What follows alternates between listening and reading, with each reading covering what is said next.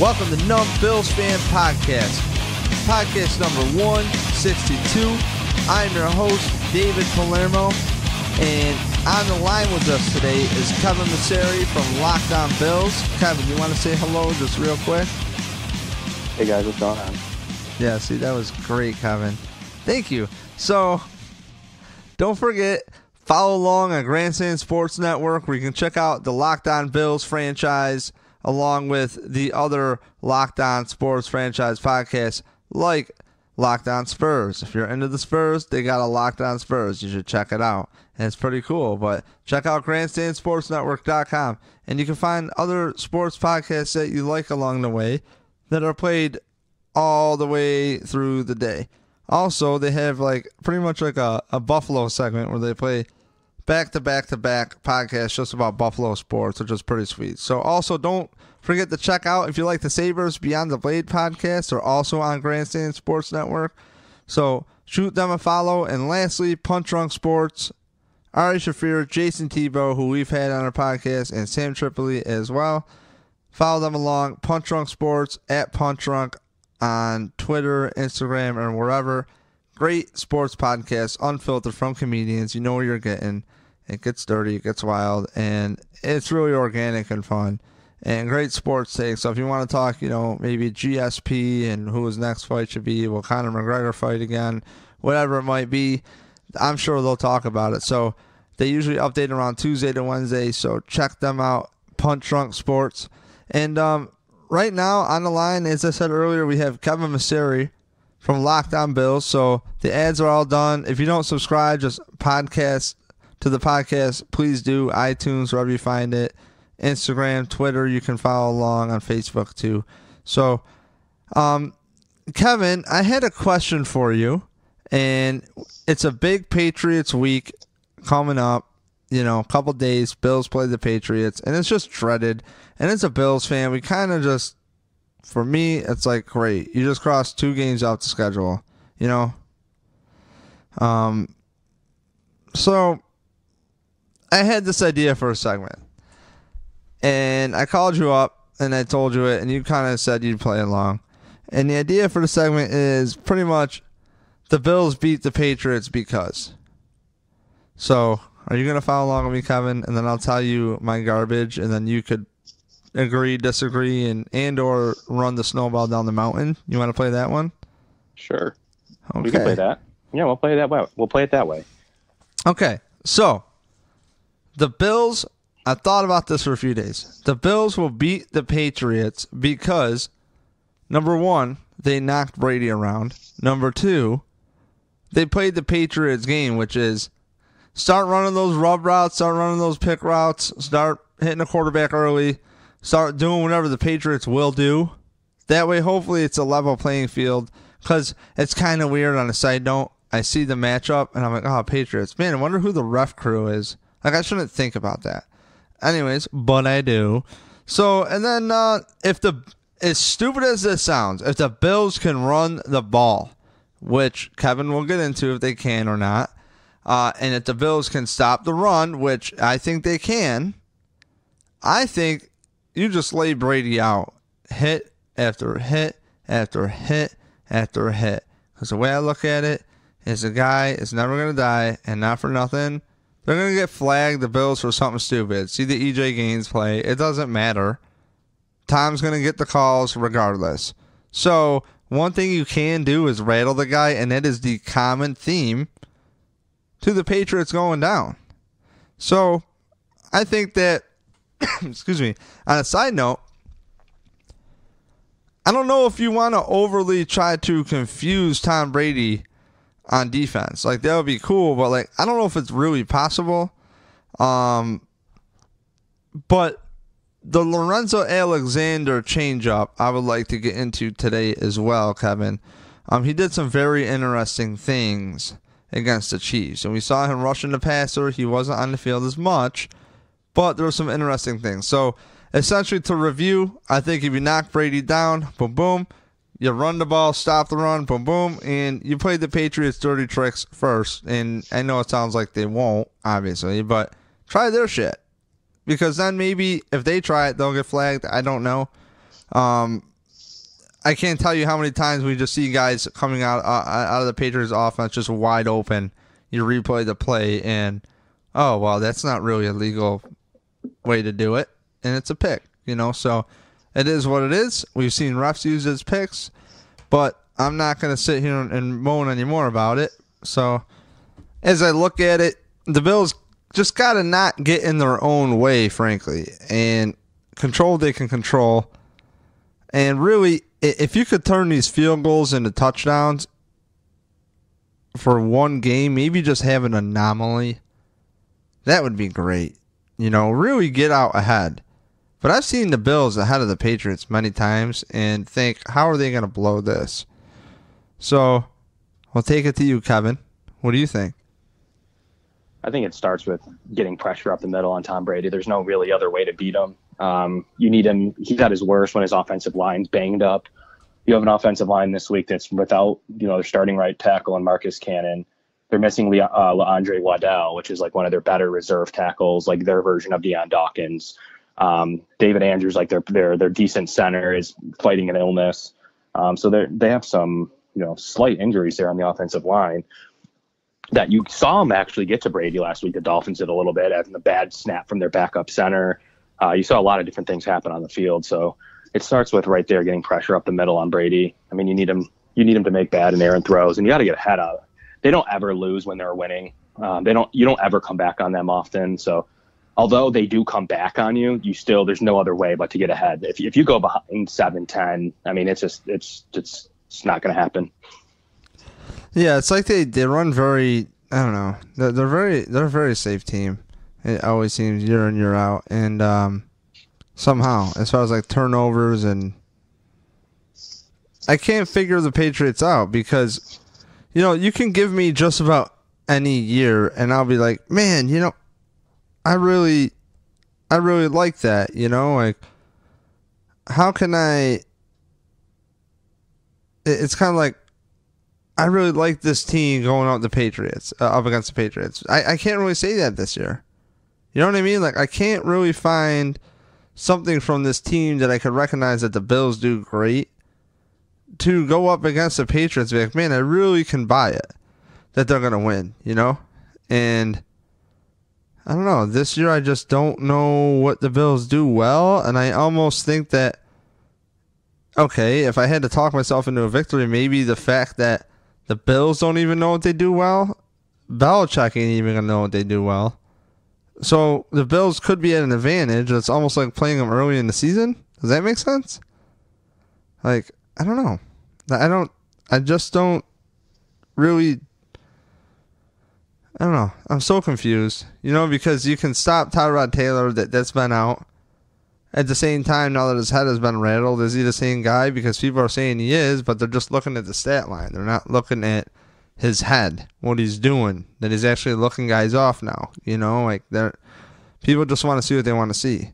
So, um, I don't know, Kevin. What do you think? Do you think it's? Am I making any sense here? Yeah, you're making sense. I just I think it's just an impossible matchup that there's, you know, I I don't see many ways to win this one. I mean, you're going to need a another two or three turnover performance, and that just doesn't happen often in New England. Happened last week against the Dolphins for them. Um, I just don't see it happening back to back weeks, and they still won by 30. So um, I really just don't see a lot of hope. Uh, it's going to take a really great effort moving the ball. I think Tyrod Taylor needs to throw the ball uh, a lot more than I. I don't think they win the game, even if they do know that they've only had 200 yard rushers against New England since Brady's been playing. C.J. Spiller and Willis McGahee. Really? So, so like they're, they're they're not going to run the ball. They're going to take away McCoy. You're going to have to beat them through the air 100%. I don't even think running the ball is a key to this game. Well, I don't know what to tell you, man. So if do you think the Bills have any shot at running the ball in your eyes or what? Because they're going to try, and that's the thing that I worry about is they're going to try, and they're going to try the same predictable shit over and over, and it's like we're recognizing now the plays that go bad. we're like, man, we've seen this. And you kind of like look it up or you hear somebody talk about it. Yeah, they ran that play four times, and it's it's netted uh, negative two yards. it's like, oh, cool. like, let's. Keep- I just don't think they'll be able to run it. They need to come out. They need to con- They need to run a quick throwing offense. I mean, I just I don't think they should come out and try to pound the rock. That's what Bill Belichick's going to stop. They're going to take that away. Do you think they'll get away with play action, or do you think they'll be just waiting on it? Because uh, you know what I, I mean. mean I, I, think you have to be honest to the run, right? You have to keep yeah. trying. I mean, to an extent. I mean, you can't you can't go three and out because you're trying to be greedy. Um, I just think you go out and throw the ball. I mean, I think that that's really the only you saw you saw with Deshaun Watson um, when they played the Texans. I, I, I really think it, it's going to take a an effort where you're you're going to commit to the pass game, and you know that's really the only way to keep up with Tom Brady. And if you get a lead, then yeah, you can transition to a run game if for some reason it goes your way. But um, you know, it's it's gonna you're gonna have to keep pace, and you're not going to be able to follow up seven points with a field goal or three and outs. I would love to see more of a um a, a spread a spread offense. Um, say even with, with, with Clay and three receivers, um, and you know have LeSean in the backfield and work some you know that that play action off there, just to just to get the defensive guys keep them on their toes a little bit, you know, and try to throw out of there. You don't just dictate. Come out that way. The Bills have not come out really running like I'm, I'm picturing like a Chan Gailey offense here. You follow me? Yeah, I'm following you. And and mix that in with that whole Kaepernick read option thing that they've been doing. You know, where like the running back is behind you as a quarterback. You know what I'm saying? So, um, because you have it's something that we've seen that that kind of read option deal work with Tyrod Taylor so well and LeSean McCoy so well. They have a good feel together, a chemistry together, and then at the same time might get a guy open because they have to think about that. And that's something that the Bills haven't done. And then Belichick's got to adjust on the fly. You know, it's like, I would really, you went to camp, you saw a bunch of different things. Do you know, you know what I mean? Like, it, it's just weird. It's just yeah. weird. I, I want to see them be more aggressive. Like, come out throwing to set up the run, soften exactly. them up. I agree with you. I mean, that's that's definitely something that they need. That's what I mean. They need to start throwing the ball. They need to open up space for the running game, and it starts with throwing the ball first, not running it first. So, um, I, would like to see a transition to a go out and try to go out swinging. That's what I want to see. I want to see them go out swinging. If they lose, still lose by 14, then so be it. I want to see them come out swinging. I want to see them throwing the ball. I want to see them try their best to keep up with the Patriots in the offensive side of the ball and and really try to lean on their defense to do a couple of things. I think that's what this game takes. If you're if you're going to go out and run the ball, you I mean, hundred yards rushing, great. I mean, you're not going to win. What do you think about um Travaris Cadet in this offense? What you what you've seen from him? I, I, I will say my thoughts on him is I I've said it before. Um, he he lays the he lays he lays the wood kind of like Adrian Peterson, but he can he has like way better hands and can move. He's got really disgusting vision. Like like our favorite part about Fred Jackson is he didn't really move too fast, but he damn he got the right spots. You know what I mean? Like I don't know. He, he's yeah, I like I like that. I think he's a really good backup running back. I think he's who you're looking for on third down. He gives you a little bit more than even Taiwan Jones did, and um, and he's better than Mike Tolbert. So I, I I think that's a good player to have on your team. I don't know that he's a great number two running back. I mean, he's he's got 100 career rushing yards, Dave. Um, he's a good third down back. I mean, he's definitely not an answer in, in the running game, though. He's going to be an answer in the receiving game. I'm looking for more versatility, and it's like for the play calls that they're calling with Mike Tolbert, and I'm taking the attributes of this player and plugging him into the things that Mike Tolbert should not be asked to execute. Again, it's not his fault. We go over all the time. But that's the plays that are called. This guy seems to execute those plays a lot better than Mike Tolbert. You know what I mean? And that's kind of like what I'm looking for in the Bills is, Yeah, I really liked Percy Harvin. Why? Because he was versatile. He could do a lot of things. And if Cadet has primarily been a receiver most of his career, I think that's an awesome thing to have him on the roster. And why not give him some carries? See what can happen. Because what we've been seeing on second down, third down with other running backs has not been working. And even first down has been a bust. Like, I, I I can't tell you how many second and longs the Bills have been in this year. It's got to be like a record setting year for that. Like some of the most abominable plays I've ever seen on first down are from the Bills. So I don't know. So what about the offensive line for the Bills? Um, how have they been looking? Has there been any improvement? Really, I haven't really targeted you to ask you that lately, but um, do they do anything superior? Is there something you can say that they can build off of something? Yeah, I mean, you have um, a running game that's been struggling to me. I mean, I just you have Vlad Ducasse playing a little bit better. Um, he was and, and, okay, he was okay, and you know you have Dan Dawkins who who actually is probably playing better than an injured Cordy Glenn is right yeah. right now. He was um, solid last game. Richie's decent as always. You know, Eric Wood can be up and down. Jordan Mills is a run of the mills. Um, you know, he can be okay at times. He's not quite as bad as people think. Um, people like to. He's not great in pass pro, um, and he can struggle in zone run blocking. But he does keep the quarterback clean. He doesn't allow a ton of hurries. He can get crushed by speed rushers, but holds his own against physical, uh, physical defensive ends. So he's not he's not playing terrible football. They they do have some depth there. I mean, it's a position of depth to me. I mean, you have Groy, you have Miller, you have uh, Henderson, you have a, you have a bunch of. I, I do like the talent there. You have Dawkins coming on, uh, Glenn potentially coming back at some point either this year or to start next year. So um, you don't have to do a lot to that unit. I mean, it's playing okay football. Well, I don't know where to where to staying with any of the offensive line because, you know, I like to watch what goes on, and sometimes I get caught up just staring at the ball, and then I look up and I see like Ducasse getting up off the carpet after McCoy tripped him, tripped over him. You know what I mean? And yeah, yeah, Ducasse is kind of clumsy, but believe it or not, he why he's in the lineup is he does what he's supposed to be doing. That's like you know, it's kind of like your version or anyone's version of a teacher's pet.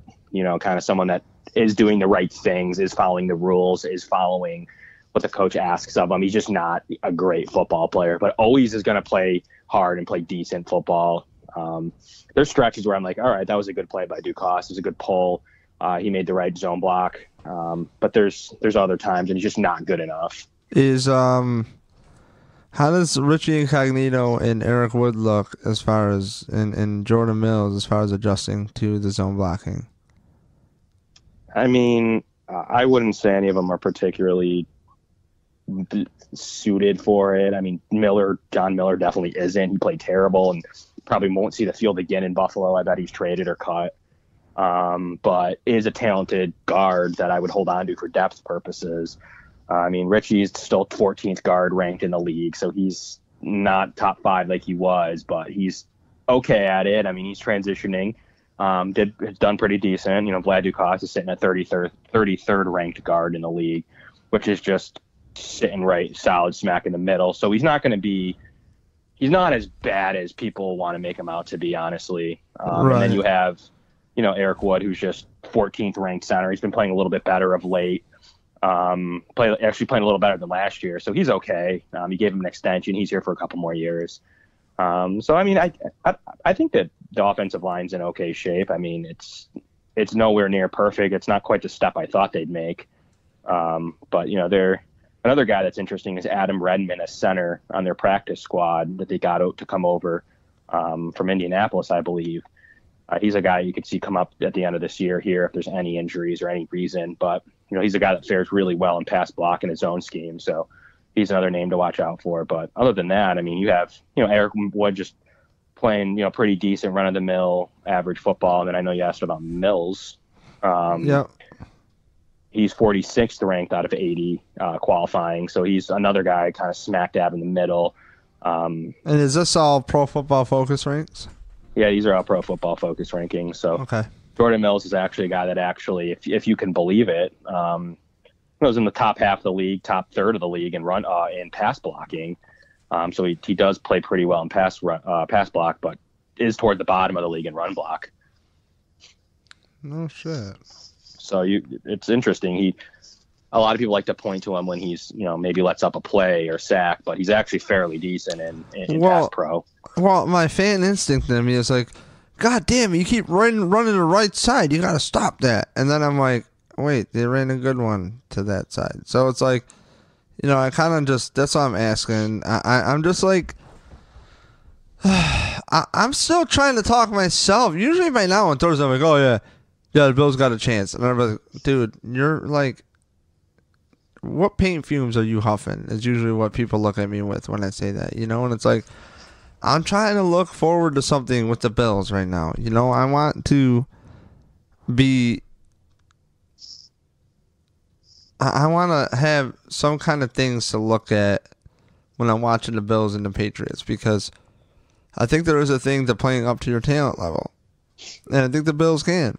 We've seen the Bills do certain things right, and I thought the Bills tackled a lot better. So let's work again. So we talked about the trenches primarily here. Um, on the defensive line for the Bills, what do you see? How do you see this working up against a? It sounds like some missing pieces allegedly. Patriots offensive line because we don't know what to trust with them. Right. So, what, what yeah, do you mean see with this the only way defensive line? Dave. I mean, the Patriots defensive line. Uh, Bills Um, oh, the Bills defensive line. uh, I mean, going up against the Patriots O line. Okay, gotcha. Yeah, they've been playing better. The Bills. That's a unit I can point to playing. I mean, the Bills O line. When you ask, they're playing a little bit better, but nothing really to Right. um to really chime in on. Are they it comes- getting the the O line? Is it getting worse, right? No, no, I wouldn't say so. Miller Miller was. That's why he got benched. Um, I would say everyone's at least staying steady or, or Okay. improving a improving a touch. Um, on the defensive side of the ball, that's that's where you're going to get. A, you've got absolutely after those three terrible games, you've got a little bit better play out of their interior D line. I mean, Kyle Williams is actually only ranked 61st in, uh, defensive interior player out of uh, qualifying 118. So he's dead smack dab in the middle. Um, it sucks to say. Adolphus Washington's kind of at the bottom of the league, right? He's 116th ranked, um, which is just brutally low, brutal, brutally low. Um, actually does okay, and believe it or not, he has a good coverage rank. Um, Who Adolphus? yeah. Okay. So you know when they have him like drop back, you know he's good at that. You know he's he's okay in pass rush. I mean he's just can be terrible in run stop. That's why you're you're seeing you know Cedric Thornton get a little bit more time in pass rush too, 68.8 ranking. Um, so Cedric's getting to the quarterbacks a little bit. Still, he's actually terrible in, in, in, in run stop too. Him and him and Adolphus are really bad in run stop. But you know, really, really, the goal is to put put Kyle in the game. and- What about pure- Coleman? What about Coleman? Coleman Coleman has like limited uh, limited statistics to go off of, but I think he's What about himself. against the run though? You know what I mean? Because that first week, you can't expect the guy to come in off the goddamn couch. right? You know what I mean? And, and be productive. And it's like if you want to talk about a team being together and liking what you got, well, you don't pull up guys off the couch if your team's together depth wise. So, well, Coleman week two, I thought he was solid against against the Chiefs. I mean, come on, man, Kareem Hunt did nothing. Yeah, I, I like DeAndre Coleman. I thought he was a great move to call him up and cut Worthy. Um, so I, I think he's he's played fairly well. I mean, he only has three tackles uh, in two games, but he goes in on pure pure rundowns because then you bring in Thornton or Dolphus on on, on I just on, uh, think pass with, with with Coleman, it's a bigger body. He's a big mass, and that gives at least somebody to pay attention to. So Kyle Williams can do his thing because removing Russell Dareus is just sending Kyle into retirement. You know, Yeah. it's like unless they spend a really high draft pick or get somebody to play next to Kyle, because I'll be honest, I think Kyle loves just playing football, and if this team ends up eight and eight, I could see Kyle Williams playing again. Honestly, I don't. Mm, maybe, maybe eight and eight, maybe nine and seven, um, maybe he could be convinced. But I, I literally I do not see many any more than one more year. Okay, because you know I look at the 61st rank of Kyle Williams, and if you want to be objective, maybe if he didn't have Dareus, it, his career wouldn't be as long, right? Right. At the same time, Kyle Williams is still to from my eye one of the fastest guys off the ball I see in any game I watch. So I don't know. I, I just and and Kevin, I'm I'm talking like across the league, Thanksgiving, like Kyle Williams burst. I mean, we talked about it last podcast together that you know he you don't think he is what he what he was, and you, we're not slighting him. It's just the truth, you know. At the same time, I have to take in schematics because we know, like Richie Incognito. Here I am, just being a fan apologist here. Nah, he's not getting old. He's defying age, man. No, Kyle Williams is not getting old. But it's like you know, I, I, just if you look at Incognito's rank for a guard, well, schematically they change to something that doesn't fit, and he's still holding his own overall. You you follow me? So it's like I expect Kyle Williams to be down at sixty one. I you know, like not not down to sixty one in ranking, but maybe maybe down in like the thirties, right? But I don't know. I just don't think that they've had anything really worthwhile. It's like these units up front, they, they just got to play so well together. And especially in the offensive side of ball. And the defense side of ball is more, you, you can improvise more. But, damn, you got to have some help, right? You got to have some chemistry with the person next to you. And I, I, I feel bad for him. You know, yeah, I mean, I, I, think he could be utilized as a guy as a team's like third or fourth best offen- uh, defensive lineman. You know, playing with a couple of good defensive ends or another good defensive tackle. But um, him and Jerry, so you really have two marquee guys, and then a couple of other decent players. Yeah, he, you know, he isn't in the greatest situation in the world, but they're still playing okay football there. What do you think about Shaq Lawson? I think he's going to have a breakout game coming up at some point. I think he's a good football player. What's been going on? Why are people so quick to shit on him? Because uh, for me, um, I don't know. Just why are they quick to do anything? I mean, he's one of the best run stopping defensive ends in the league. I mean, he's top maybe 20. Hmm. Those players that I'll be sitting in the stadium, right? and there might be like an old guy behind me, and he'll go, "Man, where's Mario Williams?" like, this is why Mario Williams is on the team. Haven't heard him. What's your use done lately? And it's like, yeah, I'm sure these guys forgot how to play football, dude. You know what I mean? Like, kind of watch your effort. Granted, we saw the Mario Williams show.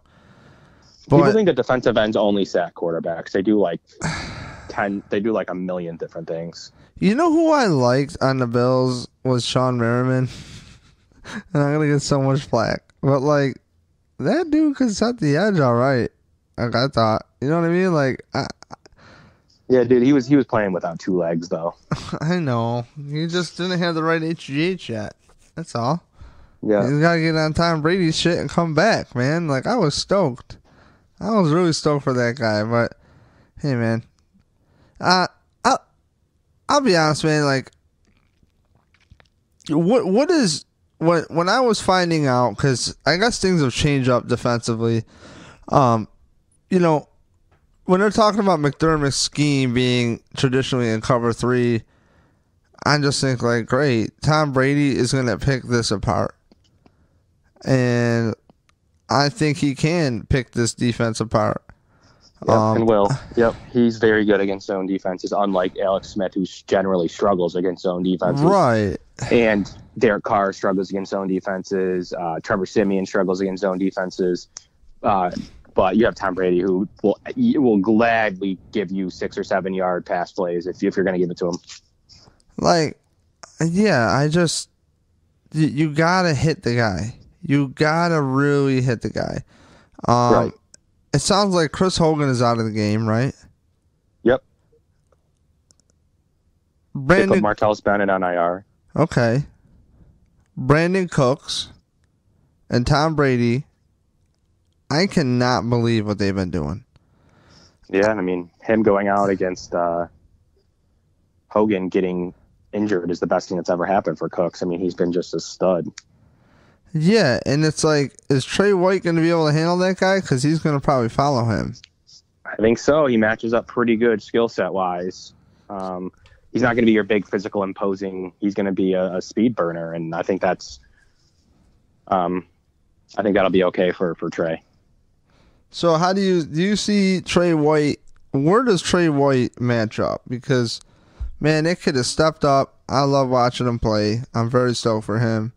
Um, you know, it's been rough with some big plays on him, but his performance the other night, taking the chance on the ball, being in the right spot, studying the film, knowing where to be. I mean, good anticipation, sealed the game. Just absolutely sealed the game. Yep. And that's what we want to see is we, we want to see an impatient Tom Brady. Yep. You know, Well, let me let me let me rant about the DBs real quick. We've talked about everything else. yeah, Um, EJ Gaines. Give me some difference EJ maker, Gaines. man. love. He's a difference maker in the zone. Um, we'll start. We'll start at the top with the Five and two with EJ Gaines playing, right? Yep. Okay. So If you start at the, if you start at the top with the safety play, you have 86.9 ranked Micah Hyde, who's 11th in the league, and 84.3 ranked Jordan Poyer, who's 15th in the league.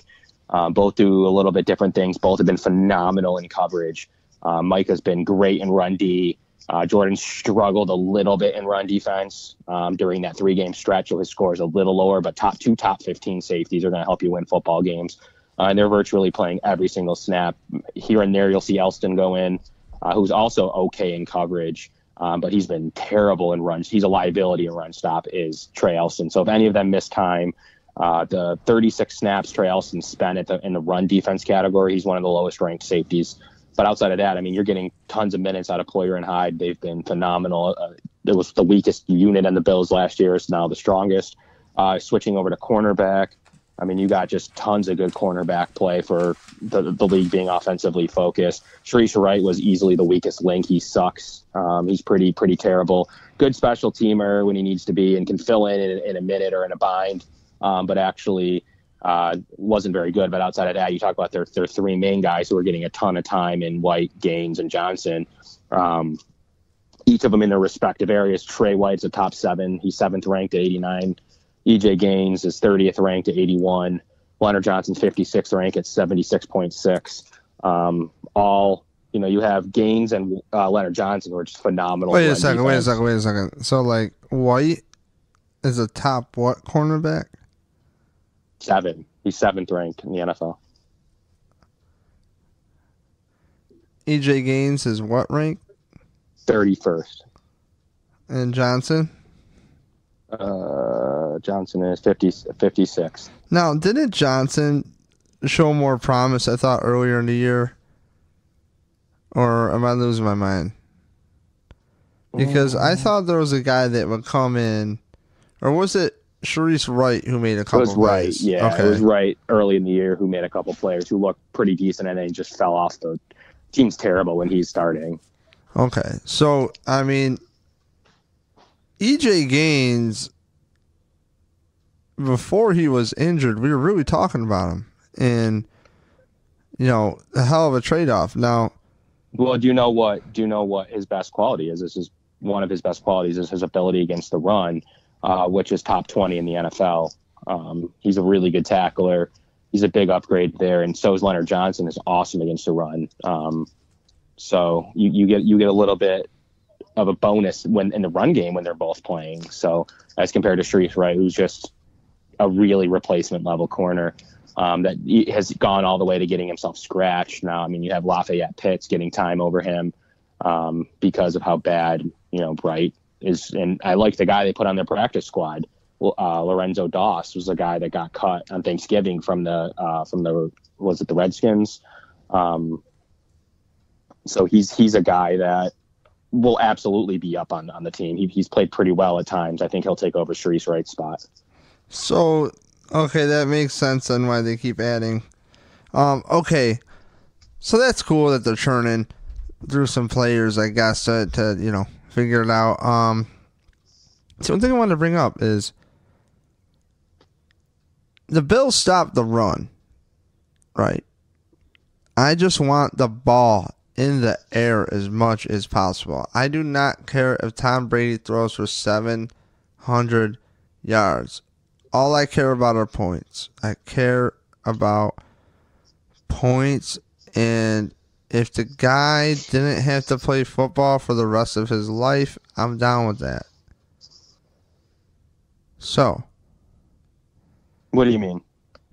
it would just really suck if he got really bad turf toe and he couldn't plant his foot, and uh, you know he had to end his career. You know what I'm saying? Um, Tom Brady. It'd Okay. it'd be really cool. So, um,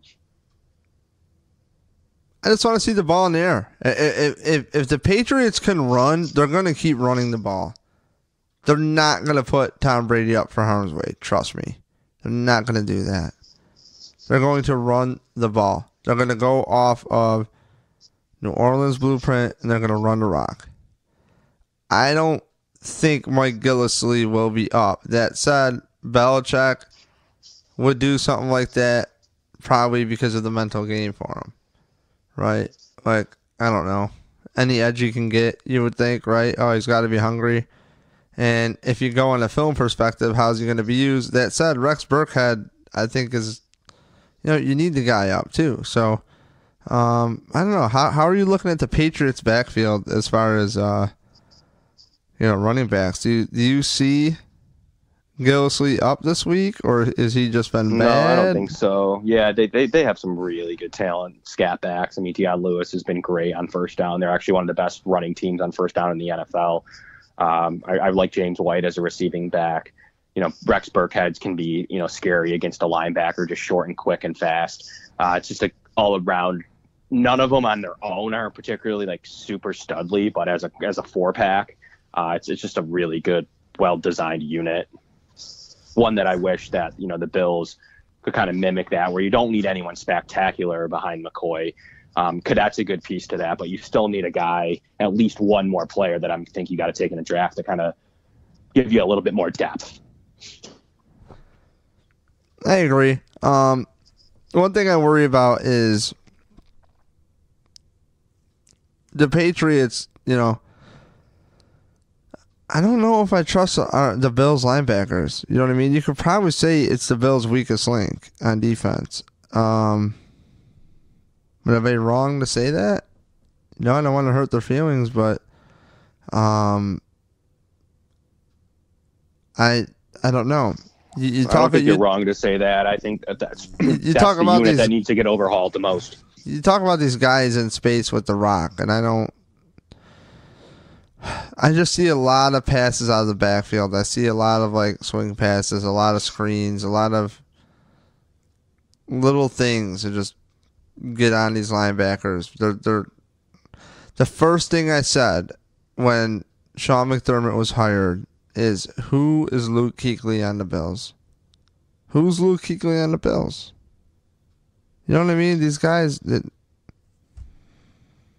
I don't know. Yeah, they're not they're not going to have a, anyone even close to Luke Kuechly that they're going to need to try to find this offseason for sure. They're going to need to try their best. Yeah, I just I mean, dude, I, I really like McDermott. I really like the staff. I, I like that. I like his intentions, and I spent a good amount of time kind of ripping him with my frustration. But like, man, dude, I just want this to work. That's all. So, uh, Kevin, do you have anything else on the matchup? Because the linebackers kind of worry me. Um, what do you think about Lorenzo Alexander's role? Um, very interesting. Uh, how he was used and. You know, there was some talk that the Bills actually had some trickery, right? I think you guys were talking on your podcast. Um, Leslie Frazier showing Kansas City the same look they showed the week prior and uh, actually working out of it. You know what I mean? Into something different. So a little bit of disguise going on defensively. Um, have you noticed any of that yourself or Yeah, they're starting. They asked him, you know, what he prefers to do. He said rush the passer, so they're using him in like a Joker, like robber type of role where, you know, you're not really sure what he's going to do. So that seemed to work. I would expect that to continue. Um, he's not the greatest coverage linebacker. You know, that's not what he's gonna, you know, gonna do particularly well. So we got to keep him out of those situations where he's it's really affecting him as a player to to put him too much in coverage. It's fine on a one-off situation, but you can't have him uh, in coverage as much as we have. Uh, t- taking 156 coverage snaps throughout the, the season is way too much for me. Um, his 41.8 rank in the coverage is just is just pitiful. I mean, that's that's bottom of the league uh, for for co- playing coverage. So um, as compared to his really decent, you know, run defense and pass rush. So we got to keep him out of coverage. You know, man, I almost wonder about like um, a NASCAR lineup like Perry Fewell used to do, mm-hmm. and putting just for the fuck of it, man, put him put him down there. You know, and, and one thing I did notice, Mark also brought this up. Okay, um, the Kansas City Chiefs game, and, and I might spew some crap, and you might think I'm full of garbage, and let me know. But the game before the Chiefs, I noticed that the linebackers were like really close to the line of scrimmage, right? And it felt like that also hurt the the the the middle of the defensive tackles for the Bills, right? And right. Mark also mentioned moving the linebackers back. That way they had more of a range. And the Bills adjusted and did that. And I thought they also helped shut down Hunt, both Hunts as well in the run Right. game. And, um, you know, Lorenzo Alexander, he's so fucking smart. And he knows where he's got to be. I'm glad to see the coaching staff talking to him because I'm a big ambassador for Leslie Frazier. I, you know, your dad likes the Vikings. You know, you follow the Vikings. I, I like Leslie Frazier. He's a good dude, um, good coach, calm, collective, and and when when McDermott hired him, I'm like, okay, I can get behind this too. You know, um, and at the time, I liked the idea that I'm going out after Mike McCoy, which I actually, upon further research, might be down with. Um, but um, so what I'm getting at here is. Lorenzo Alexander was a Pro Bowl pass rusher. And say what you want about Rex's defenses. I'm telling you now, I don't see one guy that's going to be a Pro Bowler on the Bills this year, uh, except for the safeties and the cornerbacks. I think you have three out of four D backs that could, and yeah, I mean, You're not getting a pass rusher. You know what I'm saying? no, and, no, probably it's like, not. No, you're probably not going to get a front seven player. I mean, um, but you're going to definitely get some back end players. So but what I'm saying here is, could no, we? I know, I, I get what you're saying. Could we be on more of like a cutting edge kind of thing here where like, hey, you got this guy who's really good and instinctive on the field. And I'm almost thinking of like Troy Polamalu was given a I know this is like a Hall of Famer compared to, to, to Zoe, you know, but I'm just saying it's like, all right, go down the rabbit hole, Kevin. Troy was able to have some freedom because he would bait, he would do whatever, and he- was very instinctive because he would study film. He and he was just uh, a hell of a player, and that's what the coaches would talk about. Is like they kind of like let him do his thing, and I wonder if that's kind of maybe what the Bills will let Lorenzo do is because they might want him on the field because he can help make adjustments. Um, He can because he can go into coverage and he's shown that he will go into coverage. It doesn't mean he won't pick off the ball. I don't know if you stood next to him. He's a pretty athletic individual, dude. He is not Yeah, like but- you, you say he was over 300. It's like, what? You know, like he's very athletic. I think he's very fast. Like, so kicking him inside for some exotic looks, I always kind of wondered. I mean, it's Yeah. he could be bottled up, but at the same time, I don't know. He, he's played everywhere, so he understands different techniques for each position, hypothetically, right? Right. Yeah, I mean, you got an opportunity there with him, so um, I'd like to see him. Yeah, I mean, he's he's got his really pivotal values, and just playing him in coverage, got to get him out of his coverage snaps the best of our that we can. Um, the linebacking core, you're going to have to redo anyways. I mean, Lorenzo's making a lot of money. He's going to have to take a little bit less next year to stay.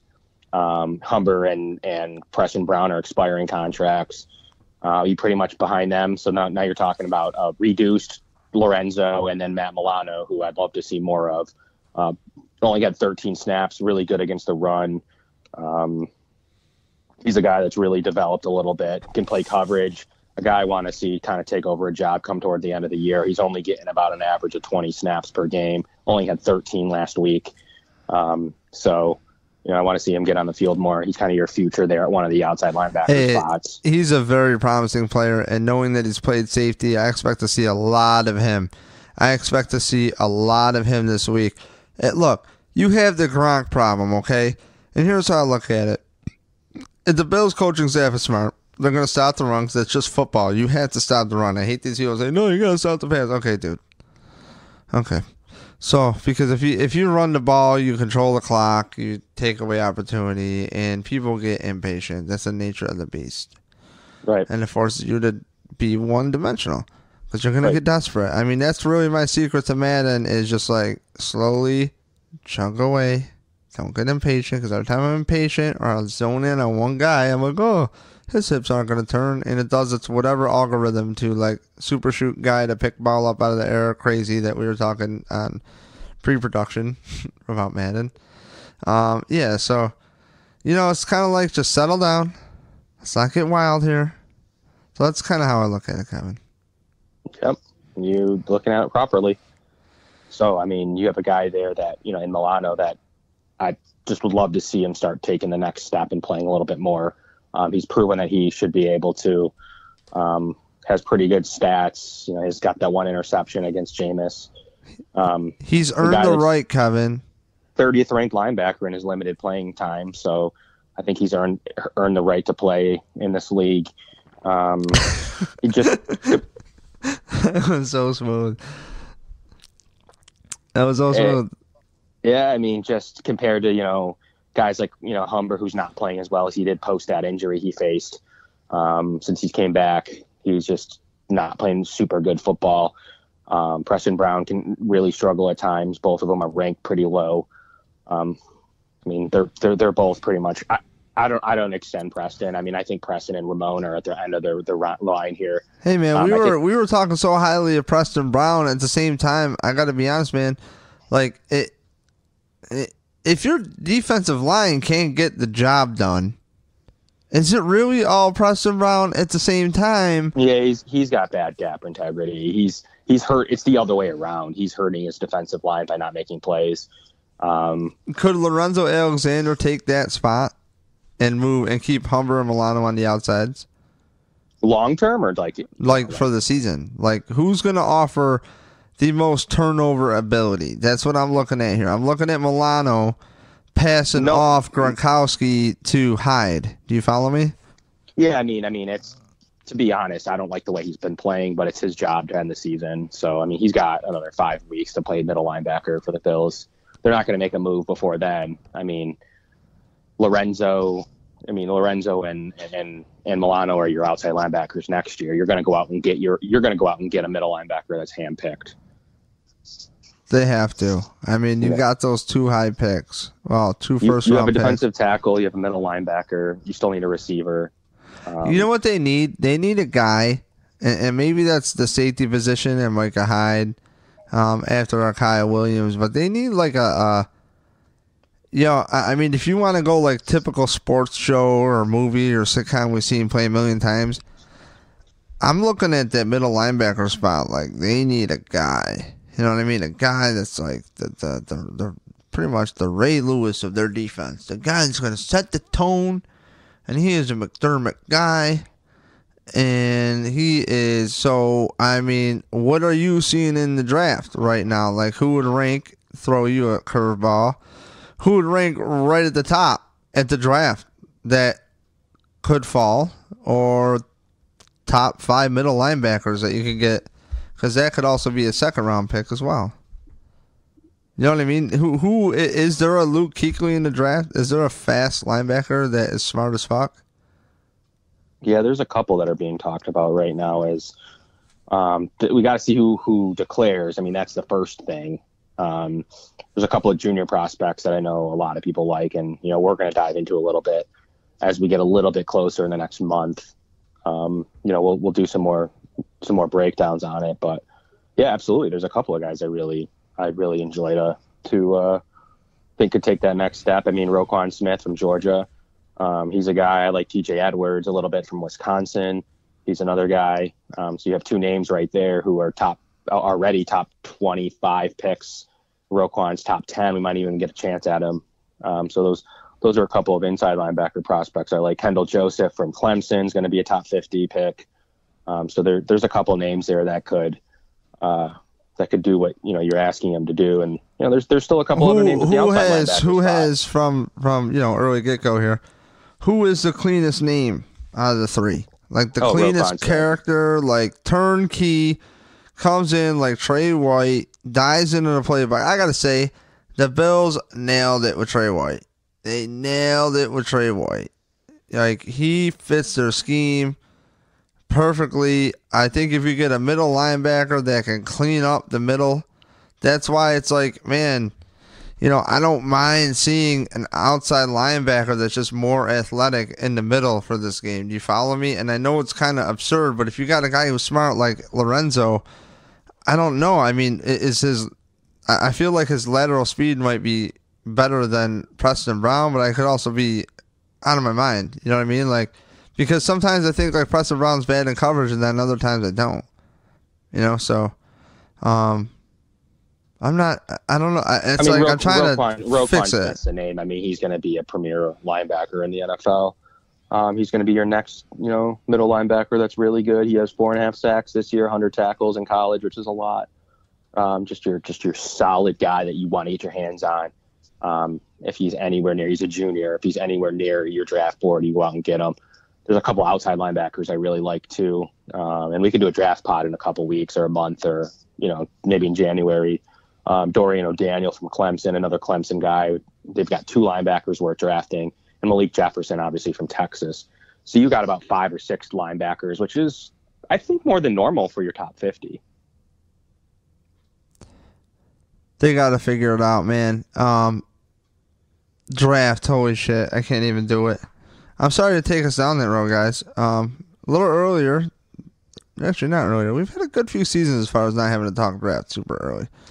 Um, so Kevin, anything else on this matchup? Uh, I, I really tried to hammer it out. I look, I, I, I think the Bills can do it.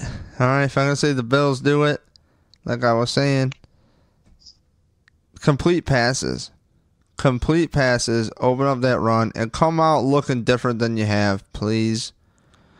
Don't comment Bill Belichick with the same old bullshit, okay? That's all I'm saying, Kevin. Stop it. Just stop it now. Agreed. Spread yep. them out, baby. Let's run out of this Fred. I just picture slow and steady Fred just through holes.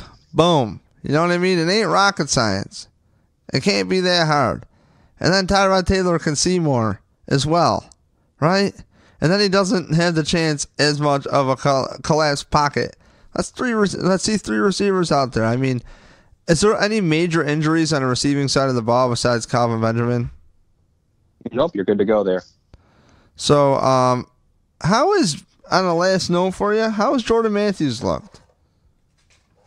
Slow. I mean, he doesn't look great to me. I mean, he's someone probably one of the most disappointed I've been with somebody. It's not that he does anything wrong; it's just that he just doesn't do anything at all. So um, he's been disappointing to me. I'm gonna put my notes. Uh, dot, dot, dot. So, dude, I made like two pages and one line of notes here. This is so crazy. Okay, so fam. Thank you for coming on here, Kevin. Uh, what do you have going on at Locked On Bills? You want to clue us in? Just dropped a great pod with Mark Schofield from Locked On Pats. Really good guy, really good followers. Go give him a shot. Um, he's uh, just a premier guy. Thinks pretty highly of the Bills. So go listen to our Locked On Bills, Locked On Patriots. He's got a lot of good knowledge. Um, gives a couple of ways that the Bills could win this game. So check that pod out. Um, just our crossover shows weekly have been a big hit, and just you know, I'm you know I'm on I'm on over there Locked On Bills three times a week. Kevin, I will say, uh, not just because we're boys, but I love your podcast. I love doing it. Um, I love seeing you actively doing it. Like it's gotta be. It's a hell of a grind, man. Doing three podcasts, having to do be a part of that, like that's crazy for lockdown. So, um, you know, and Nate Geary does some great stuff too. Um, yeah, he is. He's he's a great dude. He's he's on air. You know, he's you know, in a sense, he's uh, made it in a way. You know, he's on local radio stations, so uh, he's he's great at what he does, and someone I enjoy hanging out with at you know when I get to see him at, at camp or other functions. And, and, you know too, I'll tell you what, man. A lot of people like to bash on WGR and talk mad shit, right? But people had to understand the industry that they're in, which is right. Quarterback does pay the bills. You have to pay yep. the bills. Ads pay the bills. Okay. And yep. I could sit here and rip whatever, and some people hate the morning show, love the morning show. Some people hate both shows, morning and evening. But I will say one thing with that company is if you put in work like Sal Capaccio, I used to listen to Sal mm-hmm. Capaccio's podcast be- before we started this one because I just couldn't find any info, and that's before John Murphy had a show, and I would refresh my feed all the time, man, and and you know Sal would have like a pretty well produced show that he'd put on. He had a producer. Um, he had like some Bill Steen music. For me, it was a little bit too over the top, but it like he was doing it and and how can I say that because he's got a job doing what he loves to do and now he's on the Bill sideline and a guy like that for me is a is a big like hey man you can do whatever you want you know and it's like he's a big influence and should be for some good people and he's great coverage and he'll go against the grain he's a good source follow sales sports he's a really good source because whether you agree or disagree with the personalities on the radio or not he can he will give his outright honest opinion with whatever take they're going. He's a good person for me to ding my information to. And I'll tell you what, Nate Geary, I texted that kid a couple years ago or hit him up. I was like, dude, man, you know my radio man crush. Like seriously, like you got a lot going on for you. And I met him through the Bills Fanatics get together thing after uh, training camp uh, two seasons ago and or last season. And man, Nate's the real deal really good kid, and uh, I hate to even say he's a kid. He's a really good man, and he's gone through a lot of shit. You know that he doesn't advertise on the Facebook with the cancer stuff, like which, like, dude, that's fucking crazy. Like, I didn't even know. You know what I mean? Yep. And like, he's a good dude, and he works his ass off, and he's really passionate, and he'll tell you how he sees it.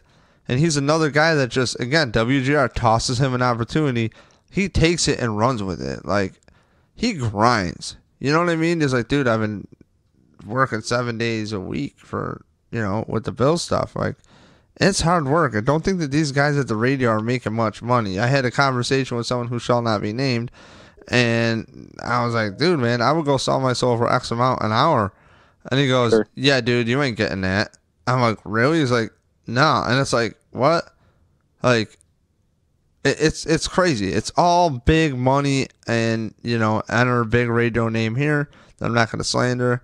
Um, so it's like, you know, it's not necessarily WGR. It's the people above who own these media corporations. Why, you know, things are the way they are on the radio. And some guys cut it real. Some guys go with the flow. And, and I got to say, like Nate Geary and Sal, they cut it really real.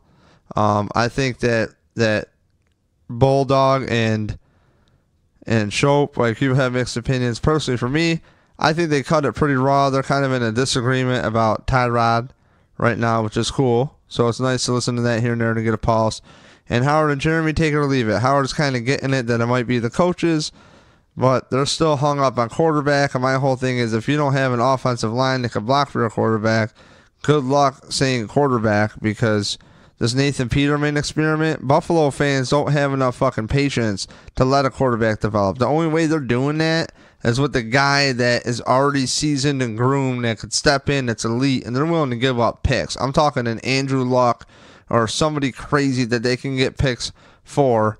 And, and it could even be maybe a, a Teddy Bridgewater if he doesn't stay with Minnesota or a Sam Bradford if you trust he's not going to get hurt somebody where you have a few years to let a quarterback develop because there's no way that a guy comes in his rookie year and it better not come in with Dennison's staff, honestly, to to develop a quarterback. I don't want that. So um I don't know how the hell I got into this off of radio shows, but uh essentially you have your personalities that you like and you don't like. And Nate Gear is a good source. So yeah, I, I agree. He's a good kid. Um, but that that's what I have on the, the docket, Dave. So uh, looking forward to the next show. Yeah, man. Wow, I really talked myself into uh, quarterback somehow in about two seconds by myself, Kevin. Good work. Thank you. So, as always, as I digress into nothing, thank you to Grandstand Sports Network.com. Shout out to Eric Turner at Cover One. As always, follow along, there for your Bills analytic analytics. I will say the truth behind the Bills. Okay, you got to look at these players as ones and zeros, X's and O's. Don't look at them like passion. Okay. And that's why you can talk me into Peterman, kinda, for that game. Like, you know, maybe we can properly evaluate the offense. Yeah, that offensive line, it ain't working for him. No, maybe he is too young and hasn't taken live bullets yet. Maybe this isn't the game to start him. Hmm. And you kind of come out with more questions than you do answers. So, you know, at cover one, they keep it real. And I love my real answers, Kevin. So it's great that you get to work right along with that and do Locked On Bills and have the power of Pro Football Focus as a sponsor. And that's pretty rad for you. So follow along on Pro Football Focus if you don't already with them. So also punchdrunksports.com and uh, follow them. Punch Drunk Sports. Subscribe. And I'm your host, David Palermo. And email me, David Numb Bills fan. Have anything you want to say? You want to come on air? You got a good take? Don't suck, as Jim Rome would say. Let me know. Send me a video. Maybe I'll post it on the website. So, as always, on behalf of uh, Grandstand Sports, Punch Drunk Sports, thank you. And uh, please subscribe. Check back for a post game show. Might squeeze a fantasy football one in with Mike Smitty. So, Kevin, anything else? I think I'm done here with my 10 minute outro. That's it for me. Great coming on as always. Thanks, Kevin. All right, see you guys. Oh, should try clicking that first.